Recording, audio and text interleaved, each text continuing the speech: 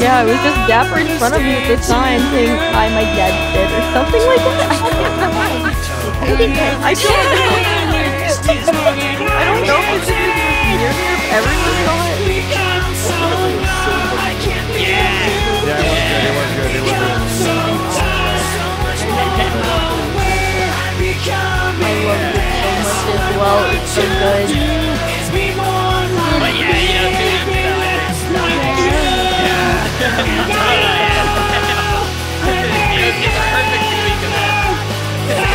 Done. I don't want any more. of this.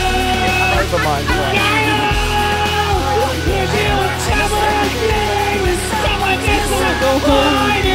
I love most days. Some days I fucking hate it, and I'll wear that on my sleeve.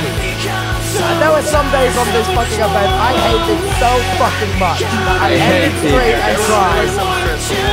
Guys, remember, remember one thing, please, Fuck this server, but on other days, please, Togo, remember one thing. It's not about like what happened, it's about the journey, and we met amazing people. Thank you. So let's go.